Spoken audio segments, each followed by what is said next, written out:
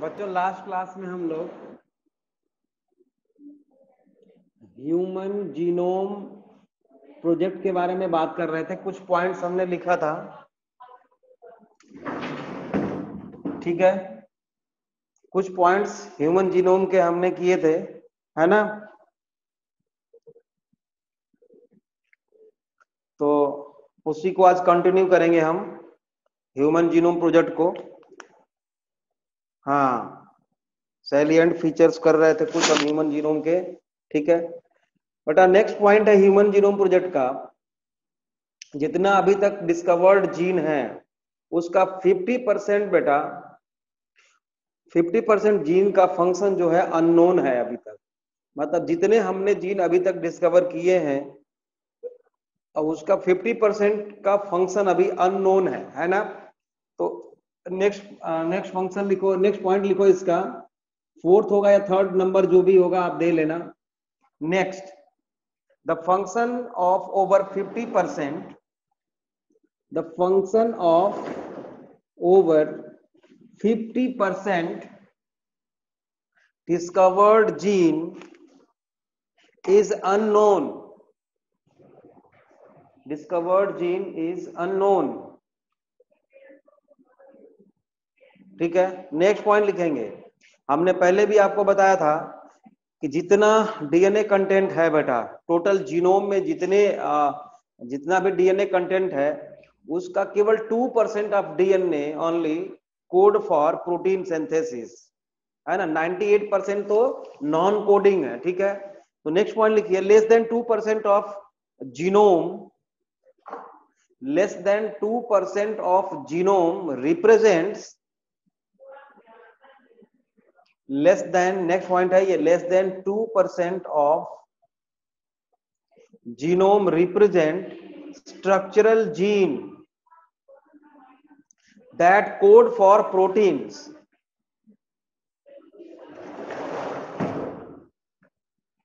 that code for proteins ठीक है next point लिखिए नेक्स्ट पॉइंट लिखो repeated repeated sequence make up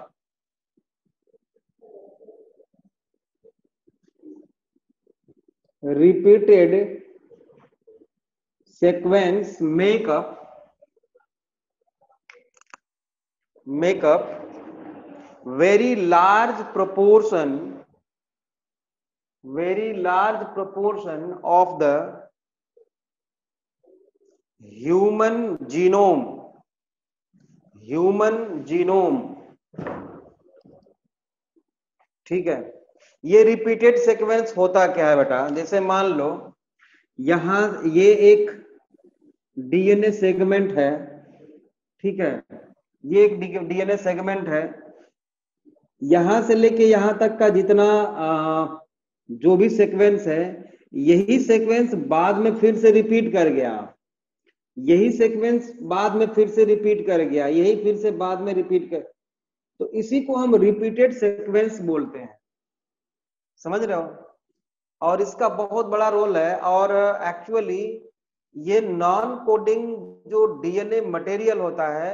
वहां पे ये पाया जाता है रिपीटेड सीक्वेंस राइट तो लिख क्या लिखा आपने repeated sequence make up very large proportion of human genome ठीक है फुल स्टॉप कंटिन्यू अभी लाइट चली गई बेटा स्क्रीन हमें दिख नहीं रही है ना बाद में हम पूछ लेंगे समझ में आया नहीं आया नेक्स्ट पॉइंट लिखिए या इसी फुल स्टॉक के बाद कंटिन्यू करो repeated sequences are repeated sequences are nucleotide sequences repeated sequences are nucleotide sequences that are repeated many times that are repeated many times comma sometimes 100 to 1000 times sometime 100 to 1000 times 1000 times full stop continue they have no direct coding function they have no direct coding function मतलब protein synthesis के लिए coded ये नहीं होते no direct function no direct coding function but provide informations but provide informations as to chromosome structure information as to chromosome structure dynamics dynamics and evolution dynamics and evolution next point लिखो तब तक मैं इसको on करता हूं next point लिखते रहो chromosome first has most DNA chromosome first have most genes most genes two nine six eight in bracket maximum six on हो गया two nine six eight in bracket maximum and Y has the and Y has the fewest genes and Y has the fewest genes that is 231 hai na aur iske aage aap likhoge minimum minimum beta maximum genes chromosome number जो first होता है इस पर होते हैं 2968 genes होते हैं इस पर और वाई क्रोमोसोम सबसे छोटा होता है इस पर जीन्स होते हैं बेटा 231 तो maximum number of genes first chromosome पे पाए जाते हैं और मिनिमम नंबर ऑफ जीन्स जो है वाई क्रोमोसोम पे पाए जाते हैं सिंपल सी बात है ठीक है नेक्स्ट लिखेंगे 99 पॉइंट बहुत इंपॉर्टेंट लाइन है ये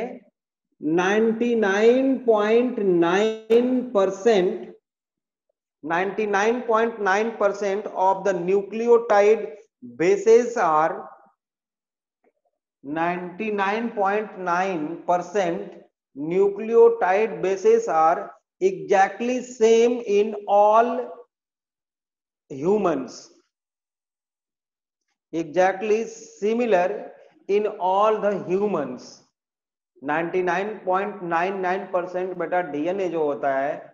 वो सिमिलर होता है सभी ह्यूमंस में ठीक है ठीक है next point only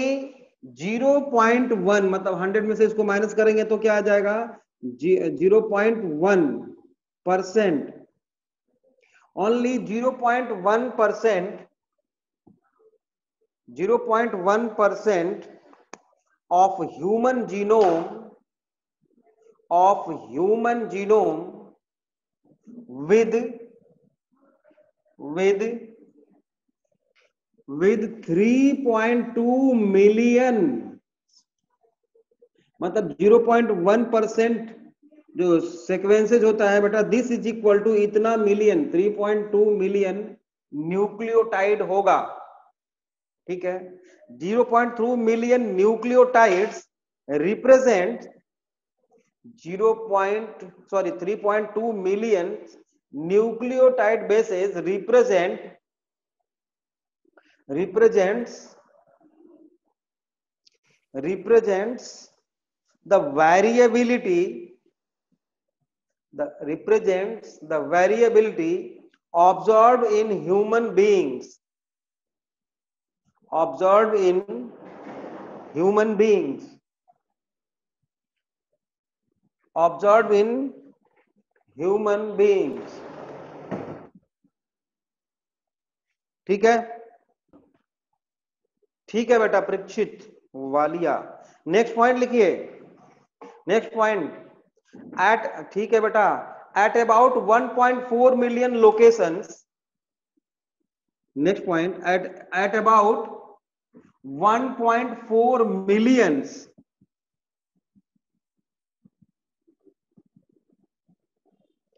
one point four millions at one point at about 1.4 millions locations occurs occurs single nucleotide differences single nucleotide differences single nucleotide differences called called SNPs या इसको हम स्निप्स प्रोनाउंस करते हैं बेटा एक्चुअल में S N Ps को हम SNPs pronounce करते हैं और इसका फुल फॉर्म होता है single nucleotide single nucleotide S N P single nucleotide polymorphism जैसे मान लो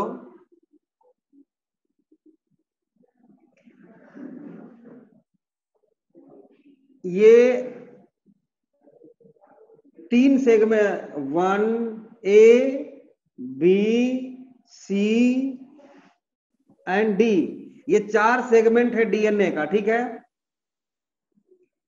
इनमें न्यूक्लियोटाइड सीक्वेंसेस देखो ए बी सी और डी में बिल्कुल इक्वल है लेकिन डिफरेंसेस क्या है बेटा सिंगल न्यूक्लियोटाइड का समझ रहे हो सिंगल न्यूक्लियोटाइड का मतलब यहां से यहां तक जो सीक्वेंस है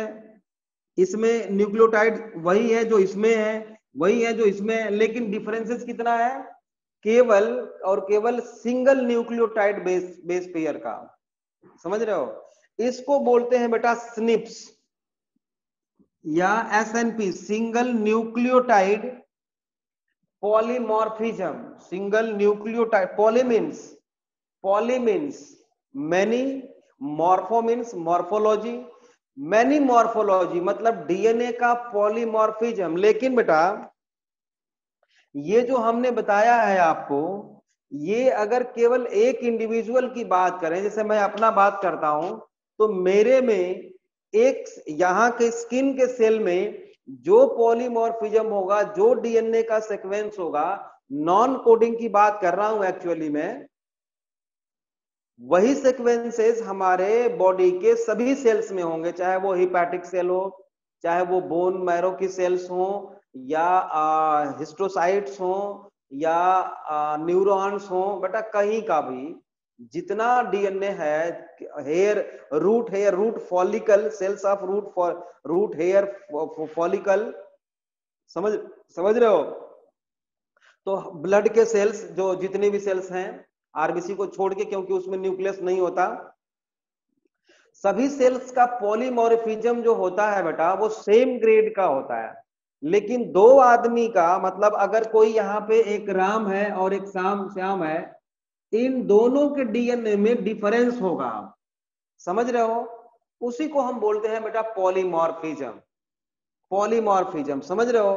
अब एलिलिक लेवल पे जो पहले जो बताया जाता था डीएनए का पॉलीमॉर्फिज्म बहुत पहले ट्रेडिशनली हम ये बोलते थे बेटा कि जैसे मान लो ये एक क्रोमोसोम है आ, क्रोमोसोम नंबर सेकेंड है मान लो ह्यूमन का ये क्रोमोसोम नंबर सेकेंड है सेकेंड पे यहाँ पे एक एलील है ठीक है और जीन है इसका एलील यहाँ पे होगा तो अगर ये दोनों सिमिलर है बेटा ठीक है और पूरे पॉपुलेशन में भी यही एलील है मतलब अगर पूरे पॉपुलेशन में किसी कैरेक्टर के लिए केवल एक ही अलील हो तो उसको हम बोलेंगे कि वो उसको पॉलीमॉर्फिज्म शो नहीं करता लेकिन अगर किसी कैरेक्टर के लिए पॉपुलेशन में मोर देन वन एलील हो बेटा तो पुराने टाइम पे उसी को डीएनए पॉलीमॉर्फिज्म बोला जाता था आज भी लगभग वही है मतलब वेरिएबिलिटी और एक्चुअली हम पॉलीमॉर्फिज्म को डिफाइन करना चाहें बेटा तो हम ये बोलेंगे कि mutation at molecular level DNA level gene level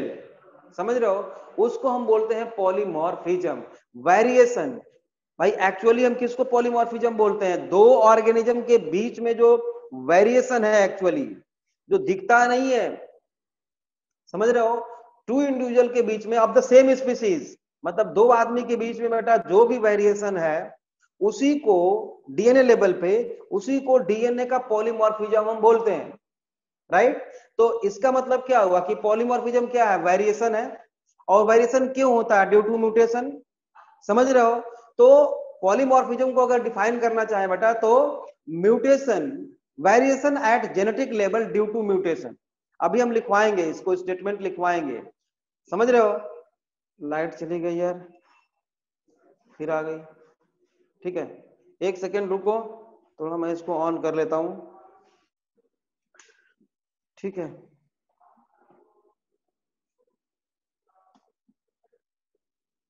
तो नेक्स्ट पॉइंट लिखो लिखते रहो क्या लिखा कार्ड एस एन पी और स्निप्स सिंगल न्यूक्लियोटाइड पॉलीमॉर्फिज्म ठीक है दे हैव पोटेंशियल आगे कंटिन्यू करो मैं तब तक स्क्रीन भी ऑन करता हूं they have potential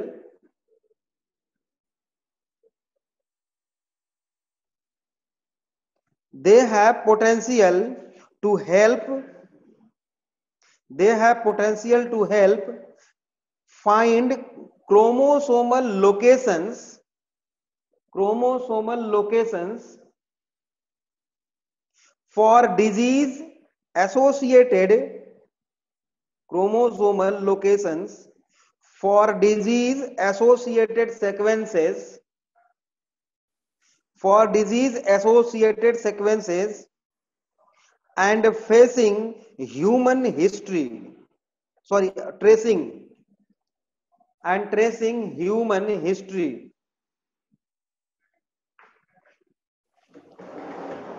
tracing human history अरे यार क्यों दिया जाता है साला कम से कम सौ बार तो मैं बंद करता हूं इसको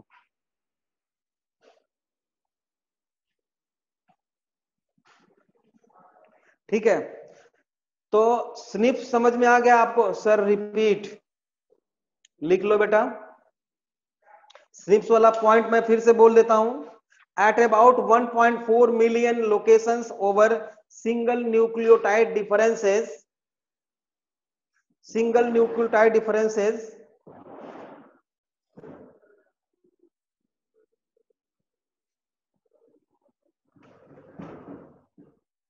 single nucleotide differences called SNPs or SNPs, single nucleotide polymorphism, single nucleotide polymorphism. They have potential to help find chromosome locations, chromosome locations for disease associated sequences for disease associated sequences and tracing human history लिख लिए next point लिखिए approximately one million copies of approximately one million copies of one million copies of sort 5 to 8 bases ya base pair, 5 to 8 base pairs, 5 to 8 base pairs. Approximately 1 million copies of sort 5 to 8 base pairs. Repeated sequences are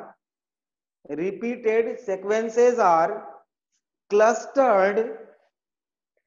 repeated sequences are clusters clusters and clusters around centromere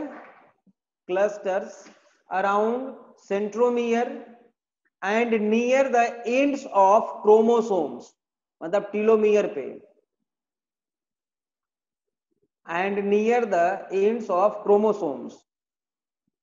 they represent junk DNA they represent junk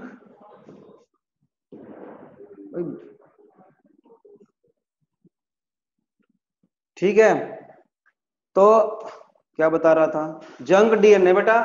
five two eight base pairs के जो कुछ sequences होते हैं समझ रहे हो short nucleotide sequences जो किसी काम के नहीं होते रिपीटेड सेक्वेंसेज होते हैं ये ये इकट्ठे हो जाते हैं बेटा टीलोमियर पे सेंट्रोमियर पे समझ रहे हो इसको बोलते हैं जंक डीएनए तो जंक डीएनए समझ में आ गया पूरी तरह सबको समझ में आ गया जंक डीएनए जंक डीएनए समझ में आ गया सबको ठीक है बेटा रिपीटेड सीक्वेंस भी समझ में आ गया सबको अब लिखो हेडिंग दो application and future challenges human genome project का एप्लीकेशन एंड फ्यूचर चैलेंजेस पहला लिखिए its knowledge its knowledge is helpful in research its knowledge is helpful in research involving biological systems involving helpful in research involving biological system including human beings biological system including human beings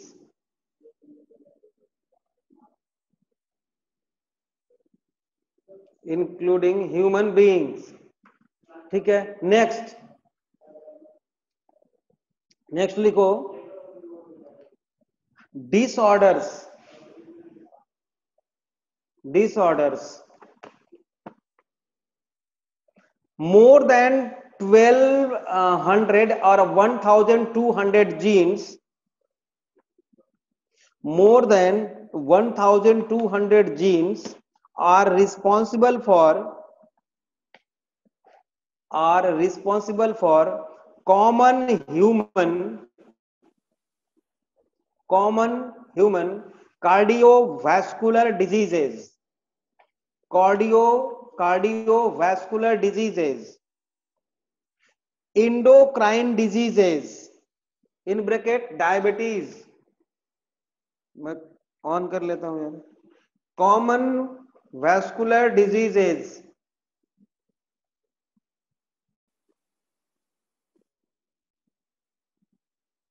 क्या लिखा common vascular vascular diseases common human vascular diseases मतलब heart से related ठीक है comma endocrine diseases in bracket diabetes comma neurological disorders neurological disorders neurological disorders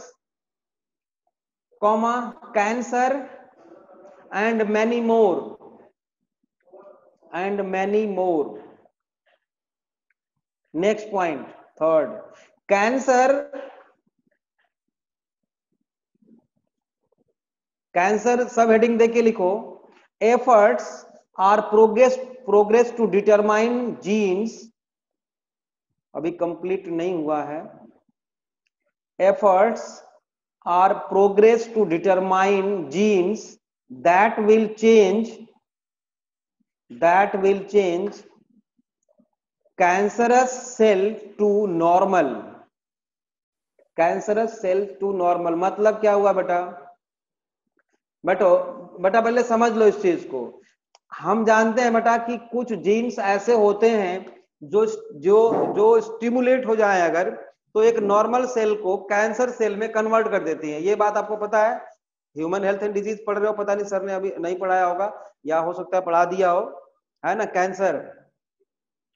human health and disease में तो उसमें क्या होता है पहले से भी आप जानते हो कि एक सेल के अंदर कुछ जीन सभी सेल्स के अंदर जीन्स होते हैं बेटा जिनको हम ओनको जीन्स होते बोलते हैं ओनको जीन्स समझ रहे हो अगर वो स्टिमुलेट हो जाए और स्टिमुलेंट जो भी होगा उसको हम क्या बोलेंगे कैंसर कॉजिंग एजेंट्स बोलेंगे ओनको जीन्स उन उन जीन्स को हम ओनको जीन्स बोलते हैं अगर वो स्टिमुलेट कर दिए जाए बेटा तो सेल डिवीजन स्टार्ट करा देते हैं वो और कॉन्टिन्यूस सेल डिवीजन होता रहता है इसको इसी को हम कैंसर बोलते हैं अब इसका पता लगाया जा रहा है बेटा कि ऐसा कौन सा जीन है बेटा जिस जिसको हम स्टिमुलेट कर दें तो एक कैंसरस सेल से एक नॉर्मल सेल में कन्वर्ट हो जाए कैंसरस सेल एक नॉर्मल सेल में कन्वर्ट करने के लिए बेटा कौन सा जीन रिस्पॉन्सिबल होता है उसकी उस पर रिसर्च चल रहा है अभी ठीक है तो लिखो लिखो नेक्स्ट पॉइंट कैंसर में efforts are progress to determine genes determine genes that will change cancerous cell to normal cell cancerous cell to normal cell ठीक नेक्स्ट पॉइंट लिखो study of tissue study of tissue study of tissue all the genes all the genes or or or transcripts all the genes or or or transcripts in a particular tissue in a particular tissue oblique organ or tumor particular tissue oblique organ or tumor can be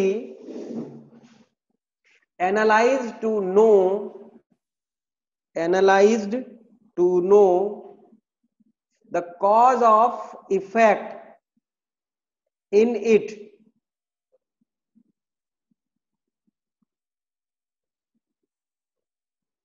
analyzed to know the cause of effect in it मतलब किसी भी gene का किसी भी tissue पे क्या effect होता है स्पेशली जो ट्रांसक्राइब करते हैं है ना उसका पता लगाना और भी बहुत सारे हैं इसके बेनिफिट्स सिग्निफिकेंस जो इतना काफी है आपका जो एनसीआरटी में वो उतना उसके लिए काफी है इतना ही पढ़ना है आपको ठीक है ना अब हम मूव करते हैं बेटा हम ह्यूमन जीनोम प्रोजेक्ट के sorry human genome project finish हुआ अब हम मूव करते हैं बेटा डीएनए फिंगर प्रिंटिंग के तरफ ठीक है डीएनए फिंगर प्रिंटिंग ठीक है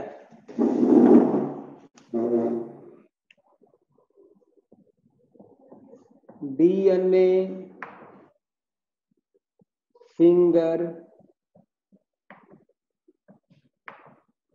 प्रिंटिंग या इसी को हम बोलते हैं बेटा डीएनए प्रोफाइलिंग इसी को हम डीएनए फिंगरप्रिंटिंग और डीएनए प्रोफाइलिंग या डीएनए टाइपिंग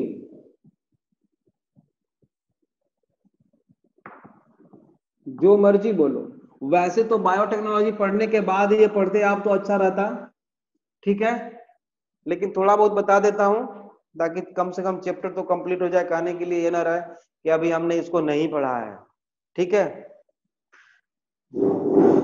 बेटा सबसे पहले एलेक जैफरीज एलेक जैफरीज को हम क्या बोलते हैं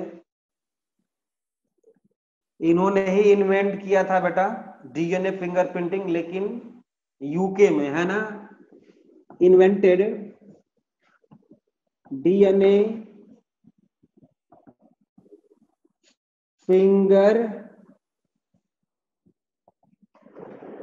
fingerprinting in UK India में बेटा in India India doctor V K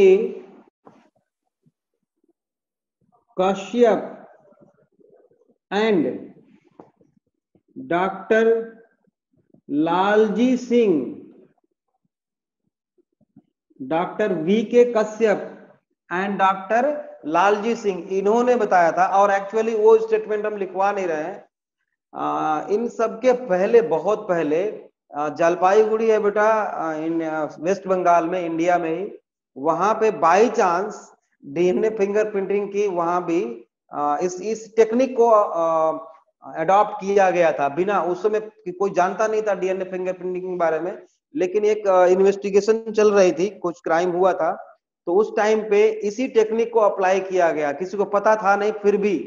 है ना सबसे पहली बार ये टेक्निक वहीं पे यूज की गई थी लेकिन वैसे कहने के लिए देखा जाए तो doctor V K Kashyap and doctor Lalji Singh ये दोनों लोग इंडिया में डीएनए फिंगर प्रिंटिंग को लेके आए थे है ना at C C M B at Hyderabad में है ये सी सी एम बी मतलब centre for cell and molecular biology centre for cell and molecular biology Hyderabad है ना हैदराबाद में है ये ठीक है हैदराबाद और बेटा एक्चुअली जो फिंगरप्रिंट की हम बात करते हैं जैसे कोई पहले के लोग सिग्नेचर करना उनको नहीं आता था तो इंक इंक पे अपने थम को ऐसे प्रेस करते थे और ऐसे पेपर पे ऐसे प्रिंट निकाल देते तो उसको भी हम फिंगरप्रिंट बोलते हैं ठीक है ना तो वो वाला फिंगरप्रिंट यहाँ पे कुछ भी नहीं है बेटा वैसा कुछ भी नहीं है इस वाले फिंगरप्रिंट को जो हम फिंगर का एक्चुअल में लेते हैं इंक लगाने के बाद उसको हम बोलते बोलते हैं बेटा डरमेटोग्लाइफिक्स क्या बोलते हैं उसको वो भी लिख लो आप लोग डरमेटो डरमेटो ग्लाइफिक्स बोलते हैं उसको डरमेटोग्लाइफिक्स डरमेटोग्लाइफिक्स में लिख लो study of it is study of it is study of or study of finger palm finger comma palm and sole print finger palm and sole print and sole print is called dermatoglyphics dermatoglyphics ठीक है ठीक है ना यहां तक सही चल रहा है अब फिर से लिखो डीएनए फिंगर प्रिंटिंग क्या है एक्चुअल में DNA finger printing one by one करके इसमें देखेंगे आज तो ये खत्म नहीं होगा कल तक शायद DNA finger printing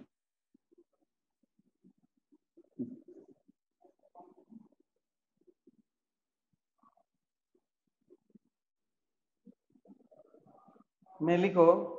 it is the identification DNA fingerprinting में लिखो it is identification of differences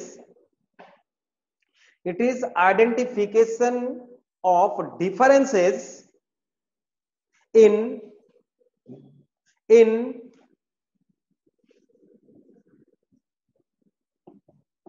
repetitive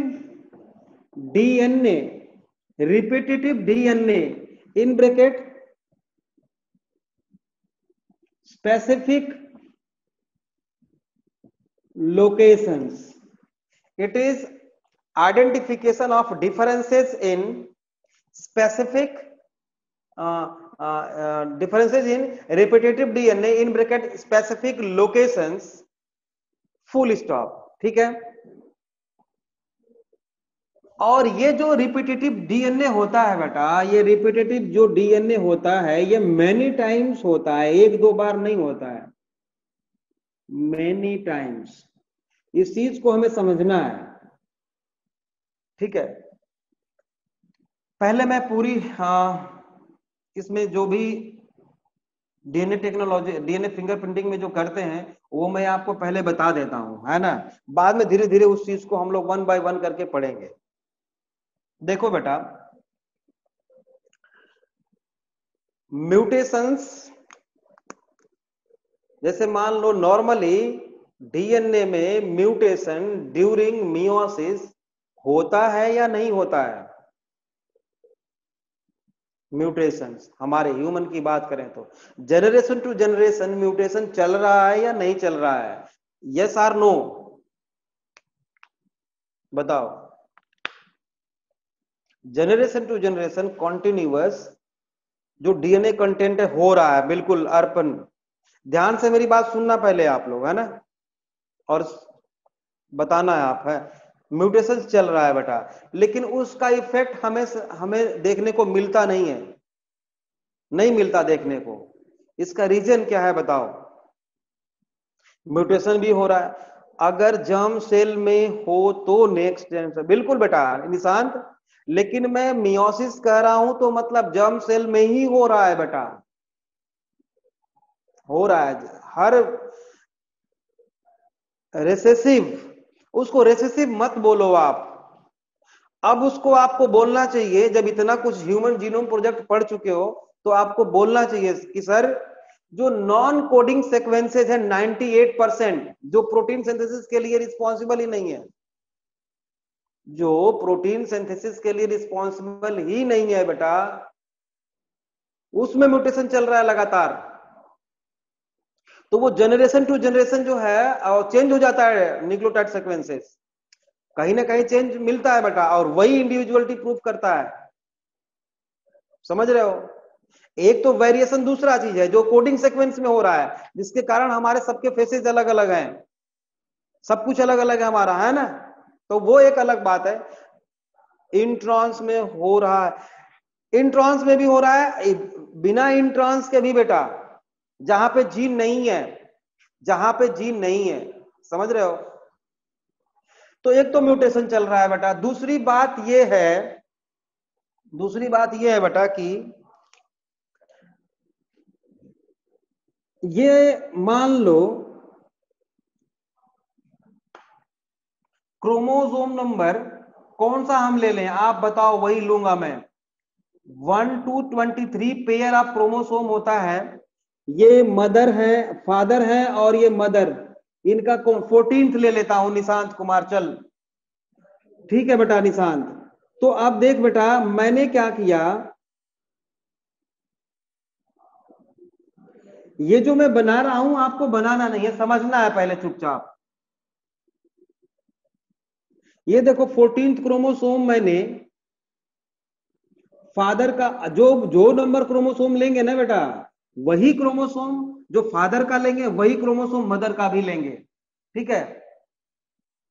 ठीक है हम इंडिविजुअलिटी प्रूफ कर रहे हैं जनरेशन प्रूफ कर रहे हैं सॉरी तो हमने क्या किया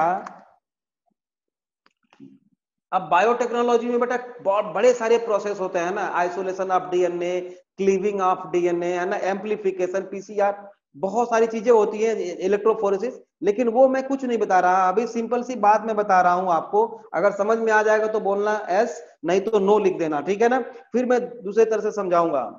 बेटा इस पे क्या है हमने देखा एनालिसिस के बाद कि क्रोमोजोन नंबर फोर्टीन जो है इस पे फादर के पास दो होमोलोगस क्रोमोसोम है इस पे रिपीटेटिव डीएनए मैंने बताया आपको कि यहां से ये देखो ये रिपीट कर रहा है सीक्वेंस ये सेम सीक्वेंस है बेटा जो रिपीट कर रहा है ten double V N T R बाद में बताऊंगा अभी variable number of tandem repeats मतलब ये टेंडम टेंडम मीन्स होता है एक के पीछे एक टेंडम मीन्स एक के पीछे एक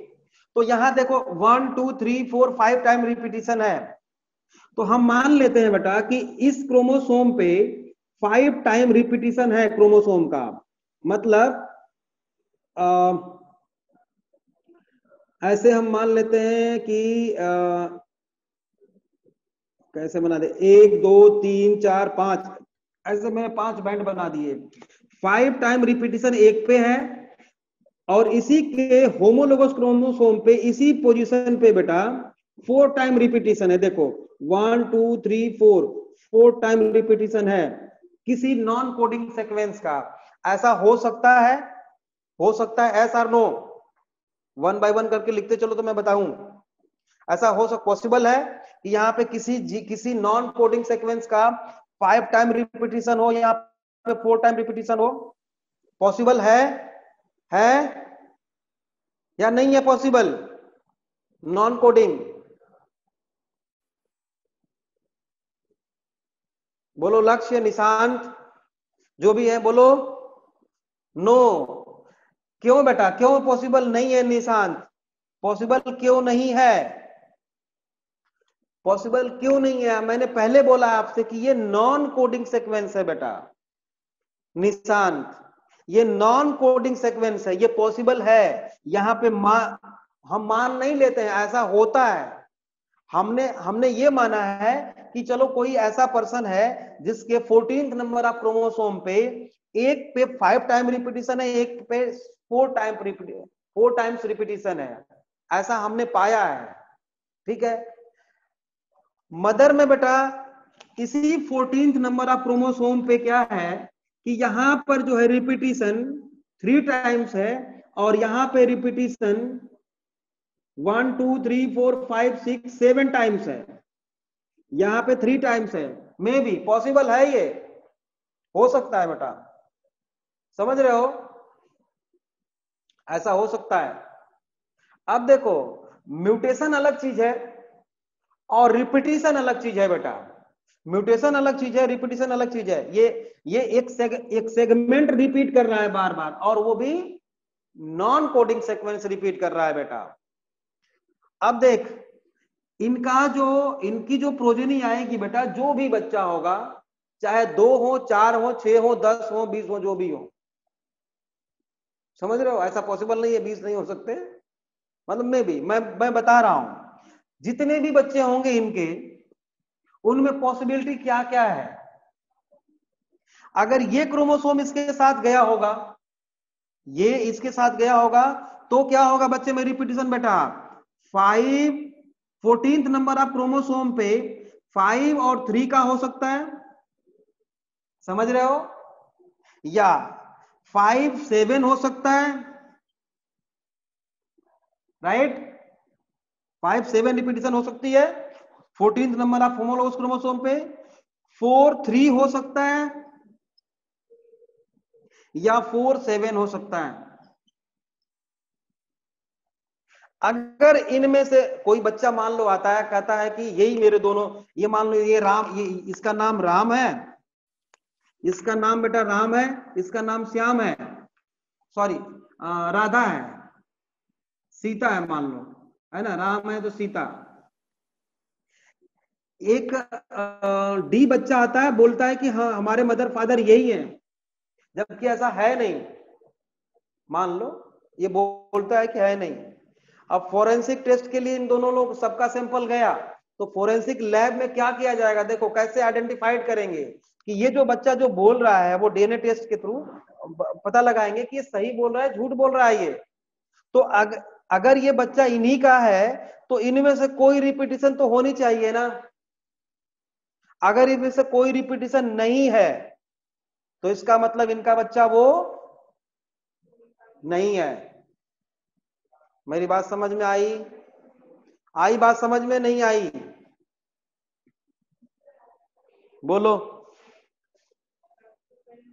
हाँ बिल्कुल ठीक है अर्पण वर्मा ठीक है बिल्कुल सही है तो बेटा ये रिपीटिशन का रिपीटेशन का इंपॉर्टेंस आपको समझ में आ गया कि जो रिपीटेड सेक्वेंस होते हैं उसको निकाल के हम कैसे आइडेंटिफाइड कर सकते हैं फोरेंसिक टेस्ट में हम कैसे करते हैं डीएनए टेस्टिंग है ना ये प्रूफ कर रहा है इनका जनरेशन को प्रूफ कर रहा है बेटा तो ये तो आपको समझ में आ गया रिपीटेड सेक्वेंस का कितना इंपॉर्टेंस है बेटा है ना रिपीटेटिव डीएनए उसको बोलते हैं ठीक है अब फिर से हम अपने पॉइंट पे आते हैं क्योंकि आपके दिमाग में ये बात रहेगी उसी के आ, उसी को ध्यान में रखना बाकी सारी जो चीजें हम बताएंगे उसी से रिलेटेड है ठीक है अब आपके एनसीआरटी e में बेटा क्या किया उन्होंने कि डीएनए फिंगर प्रिंटिंग में जो जो पॉइंट्स लिखे हुए हैं उसको एज इट इज हमें याद रखना है पहले लिखा है एनसीआरटी e में बेटा कि 99% बेस पेयर्स फर्स्ट पॉइंट आप लिखते चलो मेरे साथ अभी जो हमने लिखा भी था 99.9 बेस पेयर्स आर सिमिलर और इक्वल इन ऑल ह्यूमंस ठीक है 99.9 percent 99.9 percent and zero point one पर फिर बंद हो गया यार ये zero point one percent of three multiply by ten to the power nine three multiply by ten to the power nine इतना होता है हेप्लॉइड सेट में जिनोम में इतने बेस पेयर्स होते हैं ठीक है इतना जो है वन परसेंट ऑफ इतना को उन्होंने लिख लिख रखा है three multiply by ten to the power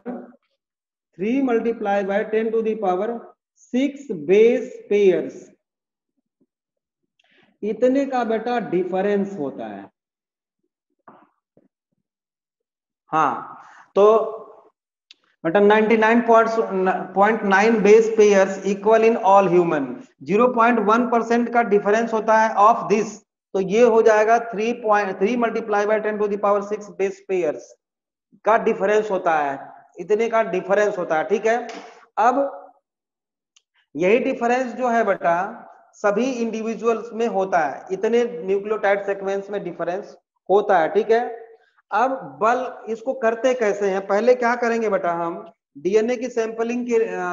DNA test की टेस्टिंग के लिए बेटा क्या करते हैं सबसे पहले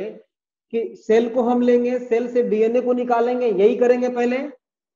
तो सेल से डीएनए को निकालने के लिए कोई आइडिया है क्या आपके पास कैसे निकालते होंगे सबसे पहले क्या करते हैं सेंट्रीफ्यूगेशन क्या करते हैं बेटा सेंट्रीफ्यूग कर देते हैं है ना सेंट्रीफ्यूगेशन के बाद उसको छोटे छोटे छोटे छोटे डीएनए के टुकड़े हो जाते हैं फ्रेगमेंट्स में वो कन्वर्ट हो जाते हैं मतलब बल्क ये आपको लिखना है जैसे मैं लिख रहा हूं बल्क जेनोमिक डीएनए है साथ के साथ कॉपी करते चलो डीएनए है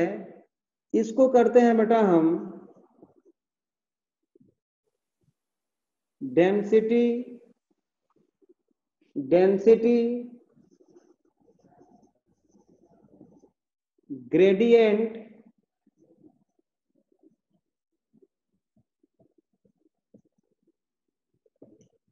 centrifugation density gradient centrifugation ठीक है ऐसा करने के बाद बेटा हमें सेंट्रीफ्यूगेशन के बाद दो पीक मिलते हैं एक मिलता है बेटा मेजर पीक एक मिलता है स्मॉल कुछ मिलते हैं स्मॉल पीक ठीक है कुछ मेजर और कुछ स्मॉल पीक्स जो स्मॉल पिक्स मिलते हैं बेटा इनको हम बोलते हैं सैटेलाइट्स डीएनए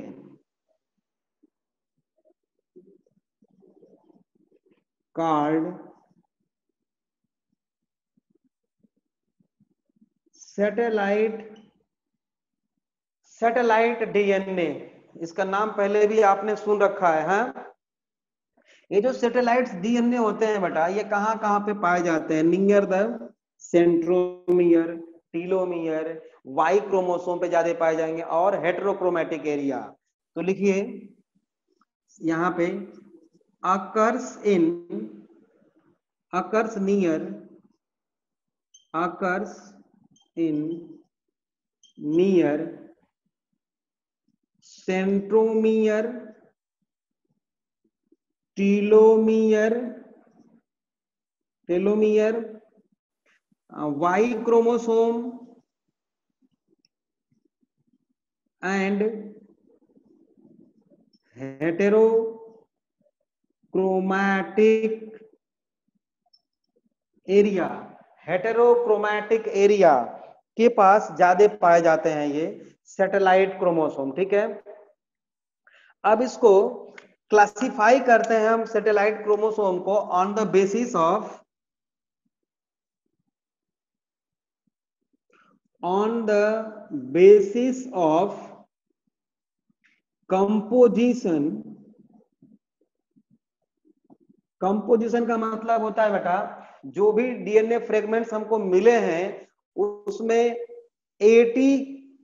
एटी सीक्वेंस ज्यादा है या जीसी सीक्वेंस ज्यादा है समझ रहे हो ये कंपोजिशन होता है मतलब एटी रिच और जीसी रिच जीसी होगा तो ज्यादा स्टेबल होगा मतलब composition in bracket A T rich और G C rich bracket close length of DNA मतलब डीएनए फ्रेगमेंट की लेंथ के अकॉर्डिंग डीएनए फ्रेगमेंट के लेंथ के अकॉर्डिंग है ना एंड नंबर ऑफ रिपीटिशन के बेसिस पे देखा जाए तो ये अब यहां पे जगह नहीं है बेटा यहाँ लिख देता हूं यही लिख देता हूं दो तरह के होते हैं ये satellite chromosome mini satellite and micro satellite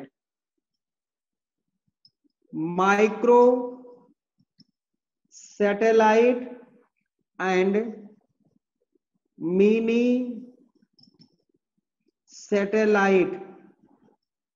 mini satellite chrome or dna content used in dna finger printing इस मिनी सैटेलाइट्स को बेटा हम यूज करते हैं किसमें used in DNA finger printing. Mini use in used in DNA finger printing clear है यहां तक अभी इसको आगे और हम देखेंगे इसको और देखेंगे देखने वाले हैं आगे हम लोग क्लियर है बच्चों यहां तक बोलो बोलो ओके है ना यहां तक ओके है लिखो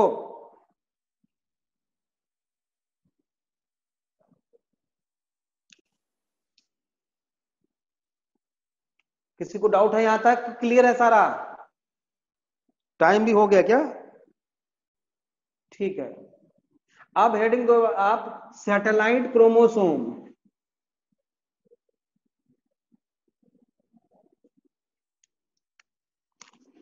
हेडिंग दो सैटेलाइट क्रोमोसोम या साइट सैटेलाइट डीएनए एक्चुअल में क्रोमोसोम तो तोड़ दिया हमने सैटेलाइट डीएनए लिखिए satellite DNA it shows S H O W show it show high degree of polymorphism it show high degree of polymorphism it show high degree of polymorphism